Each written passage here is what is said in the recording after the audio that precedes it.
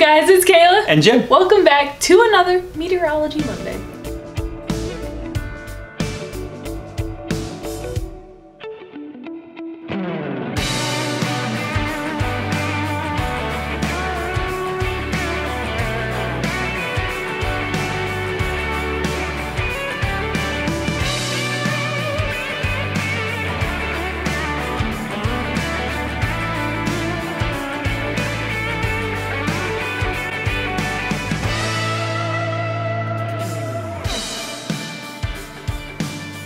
In the spirit of trying to bring to you weekly videos once again, don't mind the fact that I am still in my work attire. I have just gotten off work. You have to go back to work right after this. So, you know, we're, we're just rolling with it. We're trying to get back into the swing of things. That's right. And we are excited, even though we are, well, you're in your work attire and I will be going back to work. We are excited to bring you this week's video, which is going to be talking about the newly released projections from NOAA, the National Weather Service, and the Climate Prediction Center. Is it the Climate Prediction Center? Hold on. It is.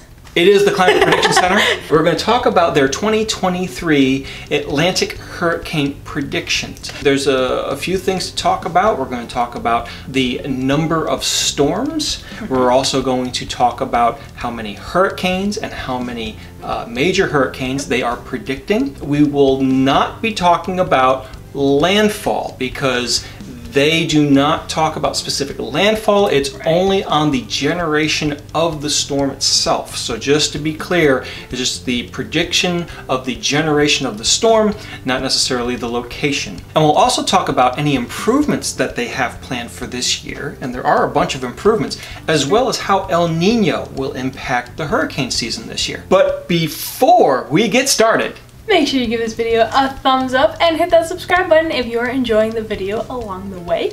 If you would like to learn more about meteorology and you find what we're talking about really interesting, check out our School of Weather. It is a series of online courses if you want to sit in the comfort of your own home and maybe learn a little bit about meteorology and weather. Let's get into NOAA's Atlantic hurricane season predictions.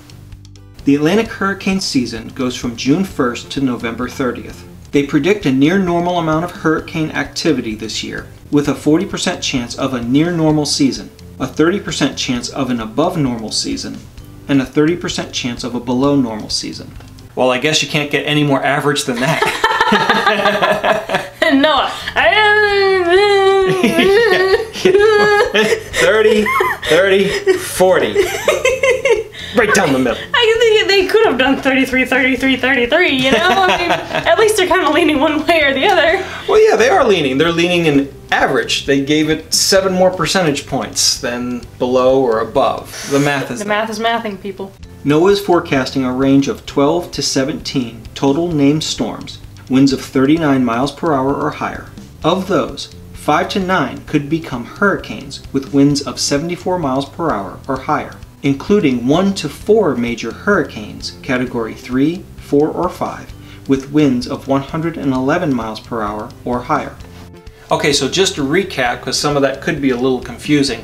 So they're forecasting 12 to 17 named storms, mm-hmm. and then out of that 12 to 17, 5 to 9 they're predicting to become hurricanes, and out of that 5 to 9, 1 to 4 of those would become major hurricanes. That's what they're predicting. Yep. So it's not uh, a cumulative 12 to 17 plus another right. plus another. It's all within that 12 to 17, and there's subsections within those.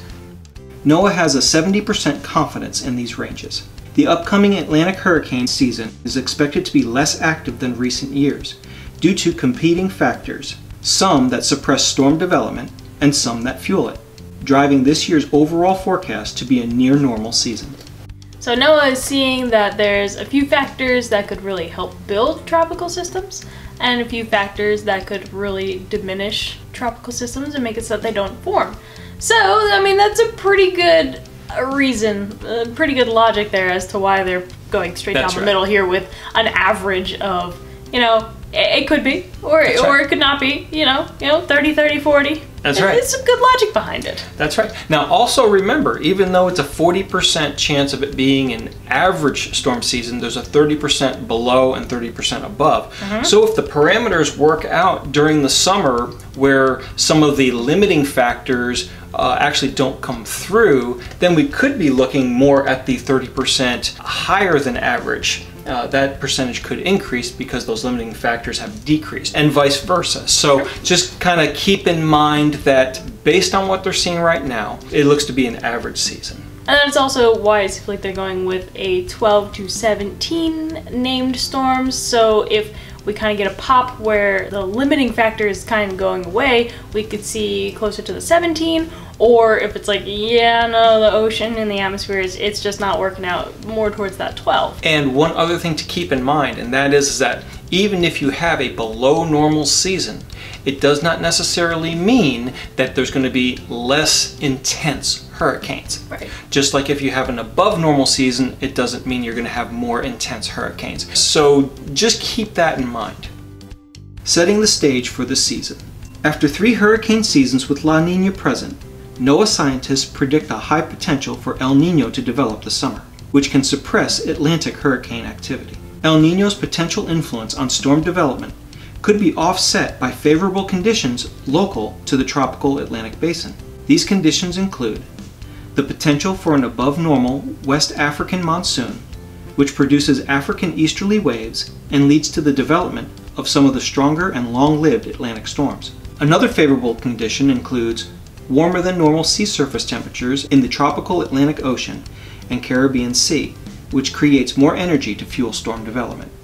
Now, El Nino and La Nina, if you haven't seen already, we have another video going deeper into that. If you've already seen that video, you may be like, hey, I remember something about uh, El Nino being good for hurricanes or La Nina being good or bad for hurricanes. We're just talking in this video about Atlantic hurricane seasons.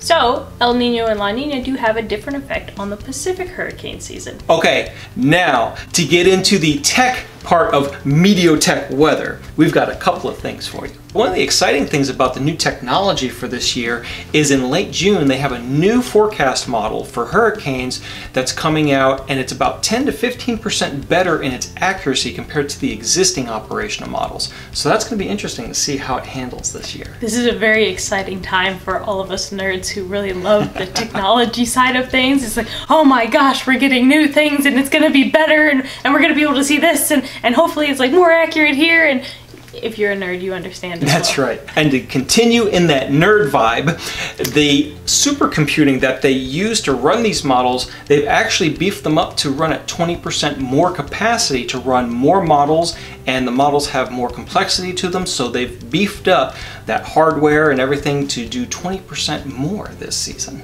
Yes, uh, put a finger down if you are looking on tropical tidbits and trying to find a forecast model and it takes forever to load and then it loads like one little spot every like 15 minutes and it takes you four and a half hours to just get a model and, and by that point you've lost interest in what you're doing. the hurricane's already at your doorstep by this time.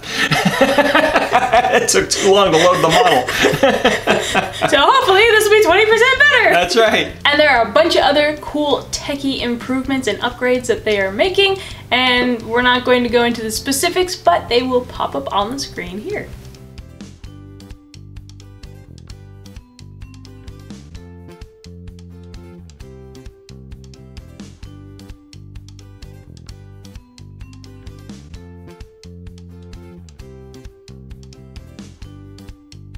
Some statements from some pretty important people, like the Secretary of Commerce as well as the FEMA Administrator.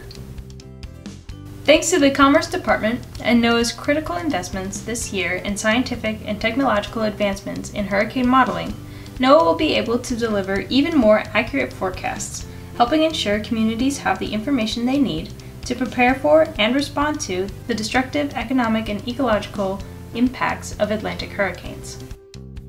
As we saw with Hurricane Ian, it only takes one hurricane to cause widespread devastation and upend lives. So regardless of the number of storms predicted this season, it is critical that everyone understand their risk and heed the warnings of state and local officials. Whether you live on the coast or further inland, hurricanes can cause serious impacts to everyone in their path. So there you have it, NOAA's 2023 Atlantic Hurricane Season Prediction. Again, if you like what you saw, be sure to hit the subscribe button and the thumbs up button and follow us over on our social media, Facebook and Instagram, if you want to see some behind the scenes and some of our weather adventures. While you are checking out the description box, hit up our website and our School of Weather. And until next time, I'm Kayla. And I'm Jim. Thanks for watching. And we'll see you at the next Meteorology Monday.